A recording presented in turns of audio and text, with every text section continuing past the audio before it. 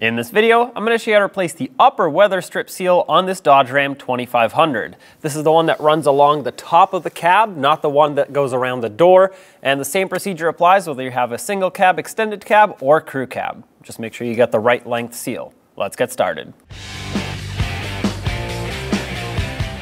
I'm going to start at the rear for removing this seal just because it's a lot easier to access and you'll see why at the front in a second. Just pull on it you don't need anything else to uh, remove it because all that's holding it on is this track here onto the plastic piece. So just pull until it all comes off.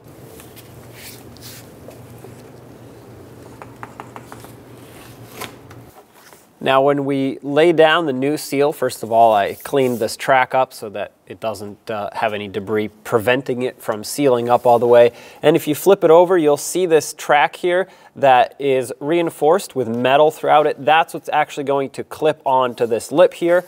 And one end of the seal will be tapered down to a thinner diameter because it actually has to go all the way into the fender a little bit. And this raised area will actually line up with the windshield seal over here. So that's how you're supposed to line that up. And once you know that it's in position, just start tapping it in.